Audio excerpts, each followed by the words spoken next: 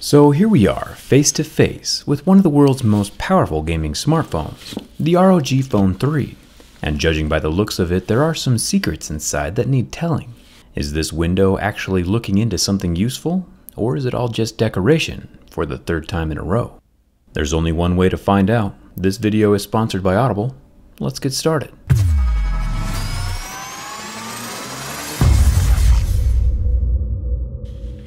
Opening up the ROG3 is a bit easier this time around. Without the exterior metal protrusion, the glass is just a single slab, like other smartphones these days.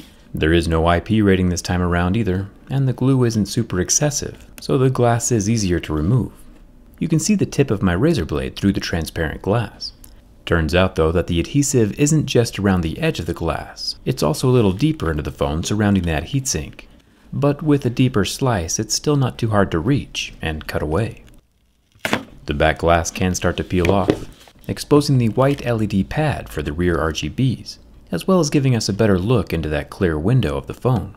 It's got a rainbow-like reflection over the glass, and does give a realistic look into what's underneath it. At first touch, the heatsink really does feel like real metal, hard and cold, like Apple's heart while dealing with Fortnite in the App Store. But cold thick metal also means it might actually be useful for removing heat this time keeping the powerful processors inside the phone cool while under load from extreme gaming or scrolling through the internet really fast. One app that actually won't need to use a lot of processing power is Audible. Thanks to Audible for sponsoring this video.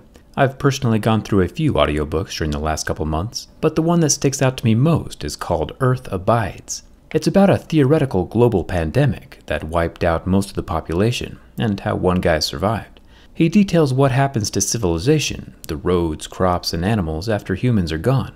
And even more interesting, the novel was first written in 1949, so it gives a unique look into the past and how life was lived 70 years ago. You can get your first audiobook for free going to audible.com slash jerryrig or texting jerryrig to 500 500, and you can also get two free Audible originals. audible.com slash jerryrig or text jerryrig to 500 500.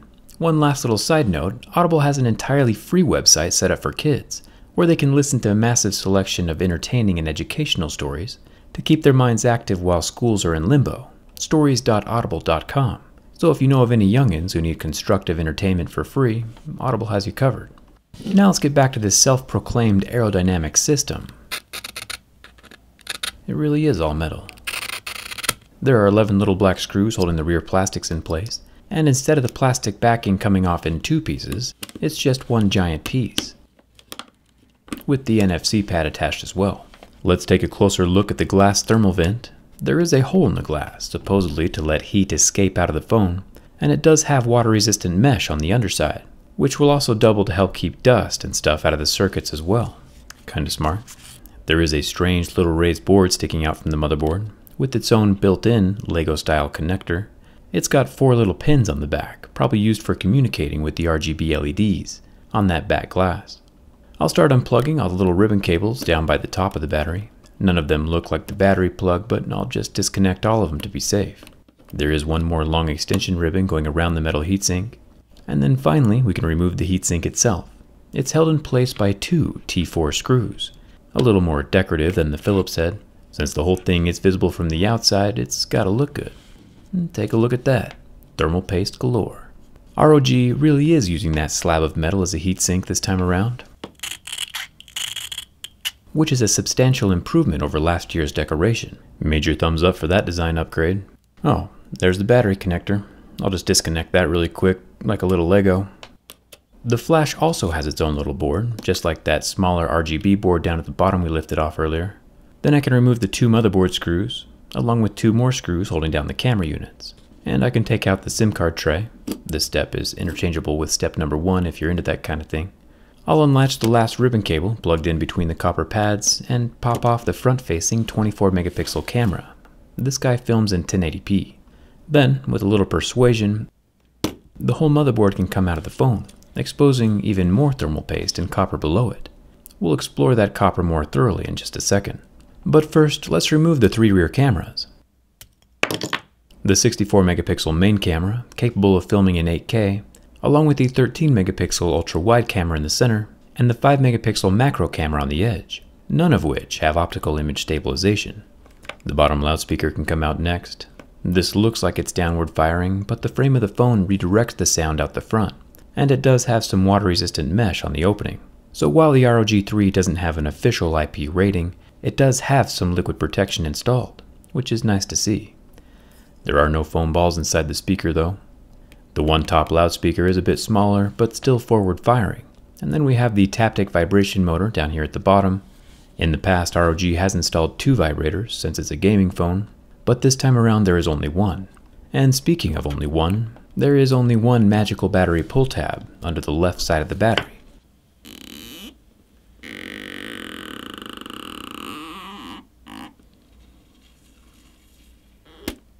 And it's rather quiet. Since it's only on one side of the battery, I still do have to pry up the other side. But it's still better than nothing. Pulling the Mammoth battery out of the frame and flipping it right side up, we can see that the battery is a 6000 mAh capacity. Pretty insane. For reference, the large iPhone 11 Pro Max has a 3969 mAh battery, and the Samsung Galaxy Note 10 Plus has a 4300 mAh capacity. Now that the battery is out, we get to see another little secret the ROG has been hiding, or I guess we could say large secret. There is an extreme amount of copper in here, spilling out from behind the battery all the way to the edge of the phone. Now, normally I really do like to reassemble my phones into working devices after I'm finished with the teardown, but I think this vapor chamber is worth a look. Which means that we'll have to sacrifice the screen. I'll take out the tiny charging port first, which actually does not have a rubber ring around the tip, so maybe the phone is not as water resistant as we thought. But it's interesting that each of the four microphones do have cute little water screens over the inside shaft openings. There are four microphones surrounding the sides of this phone for the noise canceling. Now for the screen. I'll use a little heat to help my razor get between the screen and the frame, and then a little brute force to finish off the separation. You can see that the surface of the glass is still intact, It's just the super fragile AMOLED screen underneath that is not intact.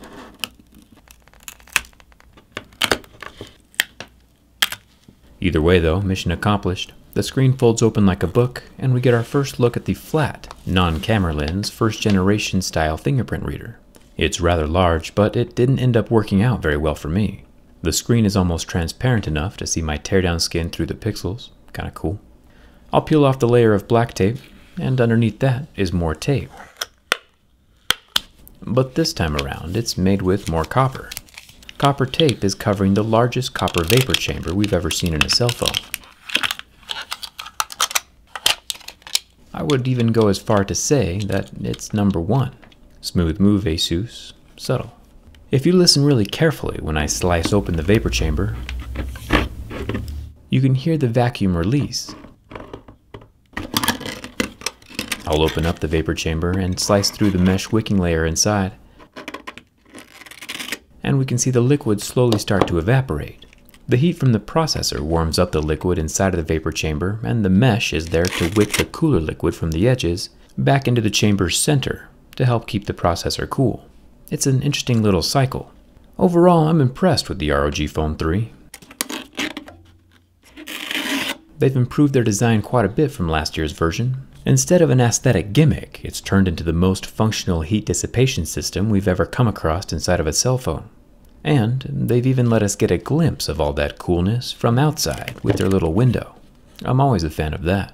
This is definitely the best ROG phone yet, and I'm already looking forward to seeing what they come up with next. Don't forget to grab your free audiobook with the link in the description, and if you have any questions, leave them down in the comments. Coming out with me on Instagram and Twitter, and thanks a ton for watching. I'll see you around.